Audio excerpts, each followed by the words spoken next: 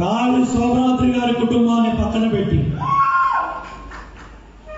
చెత్త నా కొడుక గుడి మీద చేసుకోరా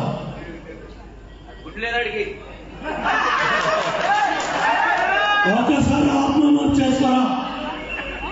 నలభై ఏళ్ళ తెలుగుదేశం పార్టీ మహానుభావుడు స్వర్గీయ నందమూరి తారక రామారావు గారు ఆ మహానుభావుడు పెట్టిన పార్టీలో రెండు సార్లు బీఫామ్ తీసుకొని చంద్రబాబు నాయుడు గారు బూట్లు మీద దరిద్రుడా మేమే సాక్ష్యం. మా ముందే పడ్డాం. ఆయన బూట్లు మీద పడి బూట్లు నాకే రికమెండేషన్ చేయించుకొని టికెట్ తీసుకొని రెండు సార్లు ఎమ్మెల్యే అయ్యారు. ఏమాత్రం ఇంగిత జ్ఞానం ఉందా ఆ మహానుభావుడు బిడ్డను అంటావా దరిద్రుడా! వచ్చా! రాయ్! అందరికీ పోషణ రావాలి. చస్తే అంత బతికితే అంత పోతే రెండు. మీరైనా నేనైనా. మన నాయకుడు బిడ్డనన్న తర్వాత ఇంకా ఏందా మాటలు? ఏది మాటలు పెద్ద మనుషులు ఉన్నారు పెద్ద మనుషులు వదిలేండి ఏ మనకేం వచ్చిన పోయేకాలం ఆ? లేదా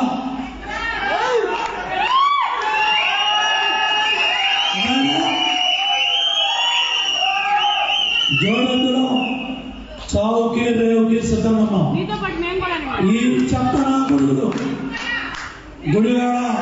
మేము కూడానండి నీ అమ్మమ్మడు అనాలరా ఇప్పుడు అడుగుతున్నా. ఆ గుడివాడ మాజీ మంత్రి బూతుల మంత్రి క్యాబినెట్ క్యాస్నో పేకాడ మంత్రి కొడాలని గణారం వంశీ మీరిద్దరు మాట్లాడిన భాష మళ్ళీ చట్టసభలో మీకు ప్రవేశం లేదు లేదు లేదు కృష్ణా జిల్లా రాజకీయాల్లో మీలాంటి తప్పుడు భాష మాట్లాడే చట్టరాములు రాకుండా రేపు రాబోయే ఎన్నికల్లో రా వెంకటేశ్వరరావు నిన్న ఎలాగైతే తొడగొట్టాడో,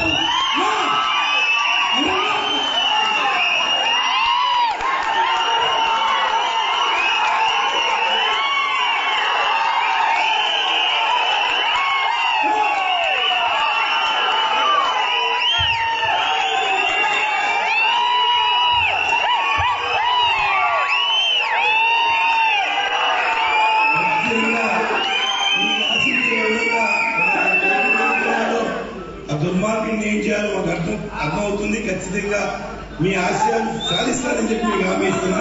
ఖచ్చితంగా.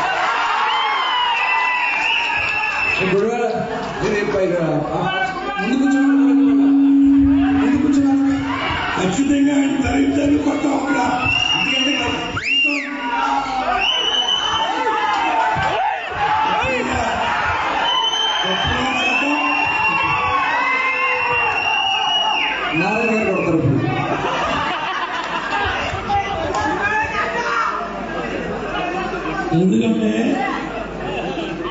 బతుకులేంటో వాళ్ళు బీఫారాలు తీసుకున్నప్పుడు టికెట్లు తీసుకున్నప్పుడు ఆ సన్నాసులు చంద్రబాబు నాయుడు గారి కాళ్ళ మీద ఎలా పడ్డారో ఏ విధంగా రికమెండేషన్లు చేయించుకున్నారో ఎవరెవరితో చెప్పించారో మీకు తెలుసు మాకు తెలుసు.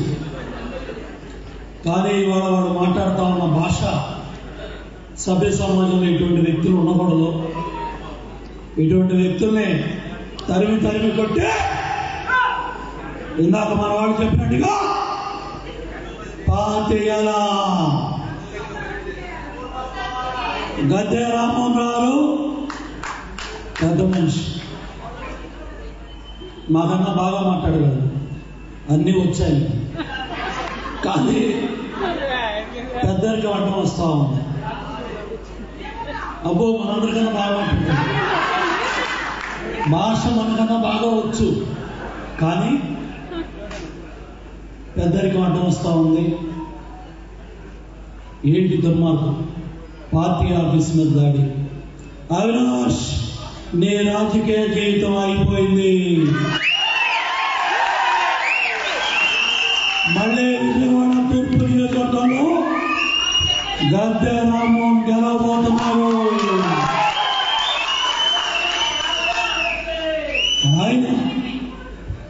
కష్టకాలంలో ఉన్నప్పుడు చంద్రబాబు నాయుడు గారు ఎటు వెళ్ళమంటే అటు వెళ్ళాడు. పార్లమెంట్కి వెళ్ళమంటే పార్లమెంట్కి వెళ్ళాడు. అసెంబ్లీకి వెళ్ళమంటే అసెంబ్లీకి వెళ్ళాడు. కాబట్టి అటువంటి నాయకుడు చిత్తశుద్ధిగా పార్టీకి పనిచేసేవాడని గాంధీ నలభై ఏళ్ళు కలిసి తిరిగి అందరం అన్న రామారావు గారు పార్టీ పెట్టినప్పుడు ఆ ఎమ్మెల్యే క్వార్టర్స్లో తిరిగిన మాతో పాటు గాంధీ ఒకడు. బెజవాడ గాంధీని చూస్తేనే వాడిని. బాబుగారికి పరిచయం చెప్పారు సార్ బెజవాడ పుట్టినప్పుడు పుట్టాడు సార్ గాంధీ అనేవాడు. ఆయన మొన్న లంక్ వచ్చిన అశోక్ బాబు గారి ఇంటికి గాంధీ ఇల్లు చూసి ఆశ్చర్యపోయాడు. ఆ పాత చూసి. నాలుగు సార్లు కార్పొరేటర్గా గెలిచిన కుటుంబం అంత చిత్తశుద్ధిగా నిజాయితీగా అంకిత భావంగా ఒక పేదవాళ్ళగా ఆ కాలనీ పేదవాళ్ళ మధ్యలో ఉంటాం. చంద్రబాబు గారిని కదిలించింది. గాంధీ కన్ను మీరు పోగొట్టుండొచ్చు కానీ మీ కళ్ళు పోయినాయి. రాజకీయంగా కన్నతల్లి లాంటి పార్టీ ఆఫీస్ మీద దాడి చేయడం అవినాష్ అవినాష్ కుర్రాడు అంత తప్పు చేశారో? అదే విధంగా భయపెట్టాలని భయం రావాలని గాంధీ మీద దాడి చేసి రెటీనా నరం తెగి గాంధీ కన్నుపోయింది ఇవాళ గాంధీ కన్నుకేస్తారా గాంధీ కన్ను రాగదా అందుకనే మనందరికీ కసి పౌరుషంతో ఇన్ని వేలాది మంది కార్యకర్తలు నాయకులు నలుమూల నుంచి కూడా తరలి వచ్చారు కాబట్టి ఇందాక రాజేంద్ర ప్రసాద్ మంచి మాట అన్నాడు. అటు గుడివాడ కావచ్చు గన్నవరం కావచ్చు విజయవాడ ఈస్ట్ కావచ్చు మనందరం ఎక్కడ ఎక్కడ ఎవరు ఏ ఇల్లు ఏ ఓటు ఉన్నా కూడా ఈ ముగ్గురు వ్యక్తుల్ని శాసనసభకు రానివ్వకూడదు. ఈ తెలుగుదేశం పార్టీ మహానుభావుడు ఎన్టీ రామారావు గారు పెట్టిన పార్టీ కార్యాలయం మీద చేసిన దాడి కావచ్చు కుటుంబం మీద రామారావు గారి బిడ్డ మీద చంద్రబాబు నాయుడు గారి కుటుంబం మీద మన లోకేష్ బాబు. జై బాలయ్య అల్లుడు చంద్రబాబు బిడ్డ.